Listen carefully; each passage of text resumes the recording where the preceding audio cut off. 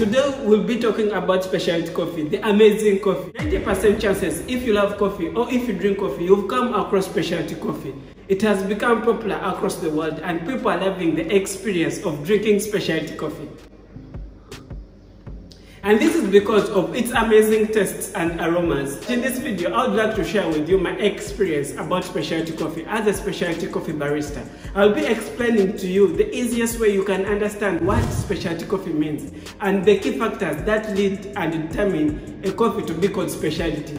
Specialty coffee is a term that is used to define a coffee that scores 80 points or above on a scale of 100 and this is determined by a certified coffee tester or a Q grader. These are the people who are trained to test and evaluate coffee. In this process, they roast samples of coffee beans and they test it and evaluate it, giving it a perfect score considering the quality of the coffee beans. In the specialty coffee range, we start with the 80 score, which is 80 to 85. This is scored as very good. 85 to 90, this is scored as excellent. And 90 to 100, this is scored as outstanding. Any coffee bean that scores below 80 points is not considered as specialty. For a coffee bean to be classified as specialty, it should score 80 points and above. There are many factors that contribute to this coffee to becoming specialty, and this starts from the coffee bean when it's still in the farm. The coffee bean should be planted on the perfect attitude and also in the best soil.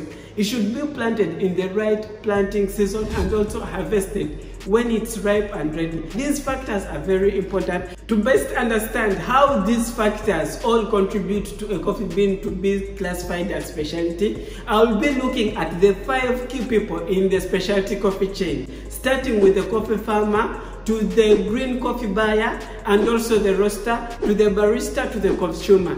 Each of these people in the specialty coffee chain plays a very big role for a coffee bean to be called a specialty.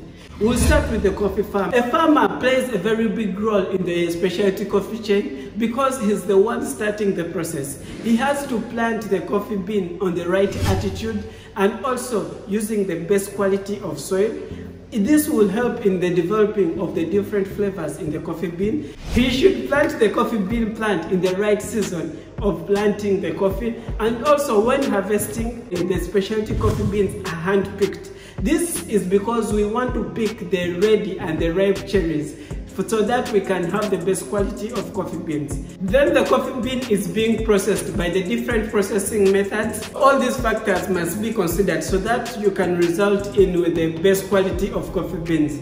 And this is determined by a certified coffee tester or a Q grader. They do a cupping session so that they can evaluate the coffee beans, giving it the perfect score. And this is where the green coffee supplier plays a very big role in supplying the coffee beans to the different roasters.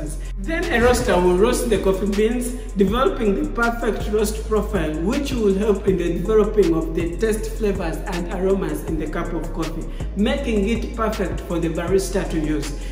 And if a roaster doesn't roast the coffee very well or burns the coffee, this will drop the quality of the coffee bean and this will also not be considered as specialty. Our duty as baristas will represent the chain of specialty coffee starting with the coffee farmer to the green coffee supplier to the roaster then it comes down to the barista.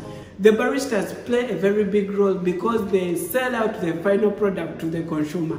Our main duty is to make sure each coffee bean that we serve to our customers is of the best quality as specialty coffee. We need to calibrate and also come up with a different recipe that match the different coffee beans so that we can serve the best coffee to the customer. So the customer also plays a very big role in the specialty coffee chain because it's the final consumer. And our main duty as baristas, roasters, green coffee suppliers and farmers is to work in hand in hand so that we can deliver that perfect cup of coffee to our customers. So one of the frequent asked questions to us as baristas is why most times specialty coffee beans are more expensive than other quality of coffee beans. This is because of the different scores. The higher the score of the coffee bean is, the more expensive the coffee bean is and the best quality that you're going to achieve in your cup of coffee. Working as a specialty coffee barista is one of the most interesting jobs if you would like to learn how to become a barista, I would recommend you watch this video. It will be very important. It's about what you need to know to become a barista. And I will also link another video on the basic knowledge that you need to make your perfect cup of coffee. Thank you so much for watching.